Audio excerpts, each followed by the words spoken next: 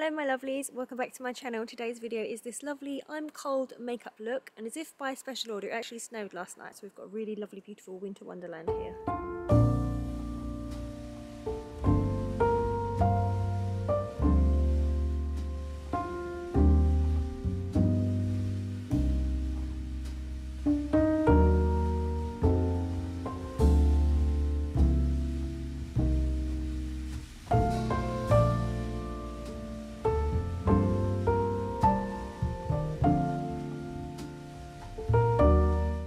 Going to start with a moisturised face. I've used my eye cream and my moisturiser and then I'm going to start with professional. So I want to get as smooth a complexion as possible for this look because it's a very clean face makeup look.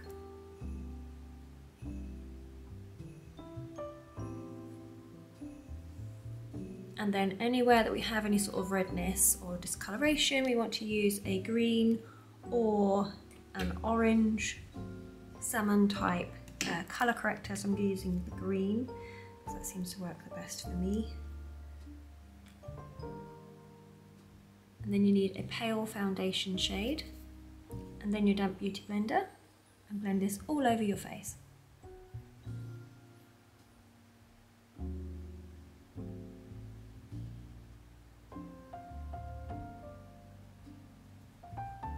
So that's our foundation done. Now we need to take the palest shade of concealer that we have for our skin. Don't just go and buy like a porcelain one if you have tanned skin, but I've got a C2 from Revolution, which I picked up from Superdrug. It's a very pale shade that does match my skin tone, so that's what I'm going to use today. And I'm going to put it in all the places where I want the lightest area to be, so that's all the highest places on your face. So under my eyes,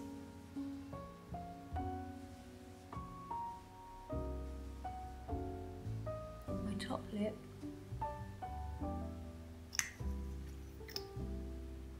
My chin, between my brows and down my nose.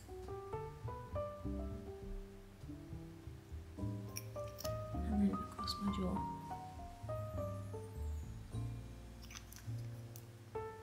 And then blend that with your beauty blender.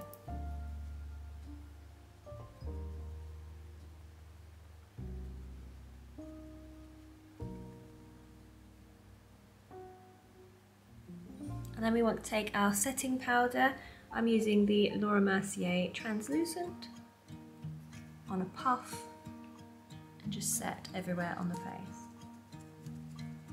And then you want to take your deepest blush shade, and mine is Petal Power by MAC, and you want to take quite a lot of this and put it across your cheeks, quite high up, in sort of a U shape like this.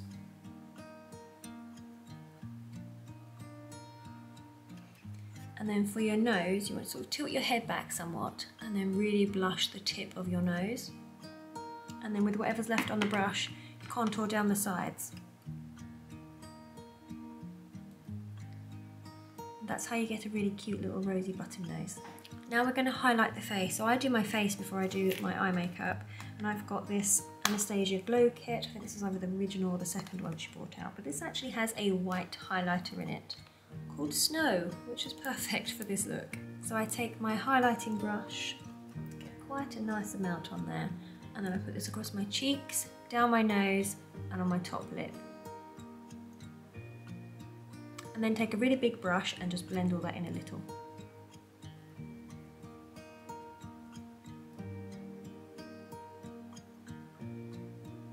Now I'm going to do my brows really quickly. I just use this brow pencil from NYX and you can make your brows as fluffy as you like for this look because it's quite a youthful look, so the fluffier the brows, the better.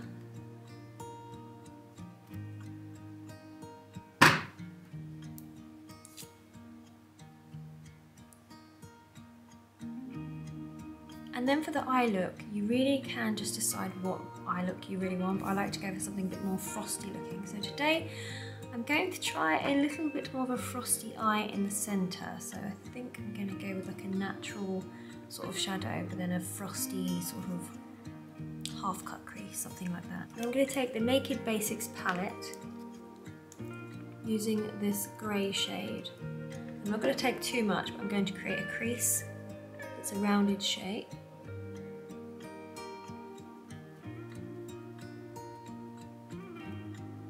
where the natural shadow falls.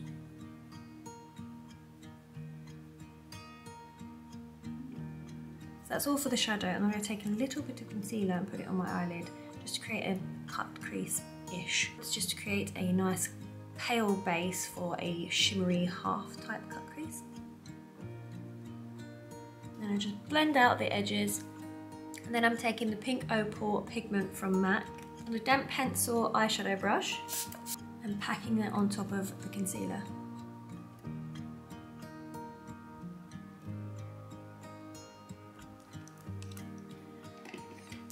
Then brush away any fallout, which really doesn't matter. The frostier the better. Then I'm taking my white eyeshadow pencil. I'm going to use my tear duct and my waterline.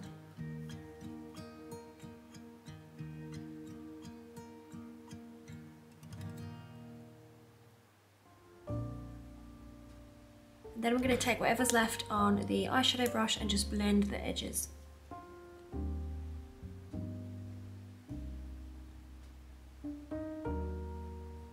Created a really frosted effect on your eye makeup. So then we want to take our eyeliner and do a quite deep, high, crescent shaped line above our pupil and then a high, not outward flick, quite upright flick towards our eyebrow.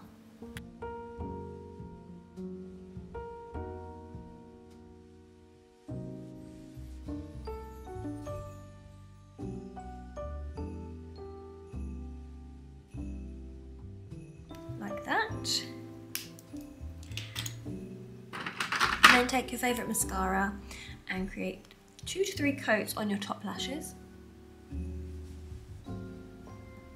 Then for your lower lashes, you want to get just the lashes. Try not to touch the skin beneath because you want this to be a bit fluttery on your lower lash line.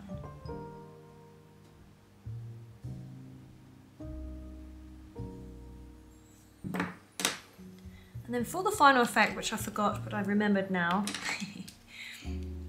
there's a cute trick you can do using the same shade in your top crease, you can put in your lower crease and it gives you a really rounded eye effect. So you want to take a brush similar to this, if you don't have this one, an eyeliner brush will work. And you want to put a line quite into the tear duct of this grey shadow shade where your eye socket is, so it's your lower crease. So mine's about here and this gives you a really good rounded eye effect. Makes your eyes look bigger and rounder. I've got quite small almond eyes. Like so, as you can tell, it makes my eyes look really rounded all of a sudden. And then to finish the eyeshadow, I take whatever's left on the highlighter brush and just brush it across and under my brows. Just to give it a little bit of a glisten sheen to there. I'm that because that looks a bit blocky. And then all that's left to do is lashes and lips. I've got these Luxtension lashes by Kiss, which are nice and big, round, fluffy lashes. You don't want the foxy lashes, you want the big, round, glamorous ones for this. And then for my eyes, because they're quite small and almondy and these are very big lashes, so to avoid cutting them, I place them quite into my tear duct, but a little bit higher than my actual lash line so I don't stab myself when I blink and then I place them actually not on my lash line this side either and a little bit higher up into the tick on the outside.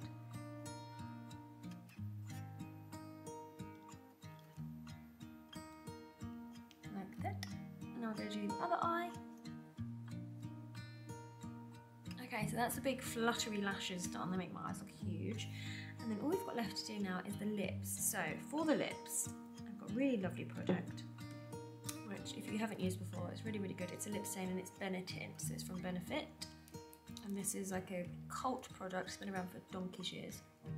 And then you just want to put two coats of this in the very centre of your lips, so you give yourself a cherry pucker, like a little kiss now. So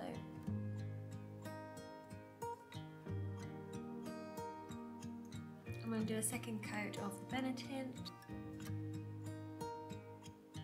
And let that dry once again. And then once that's dry, you want to take a clear or very pale lip gloss. I've got this pink shimmery one from MAC. And then you just put that on your top and bottom lips.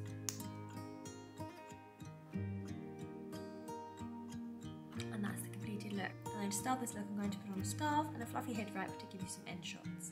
So I've got my head wrap and my scarf on, and this completes the final look.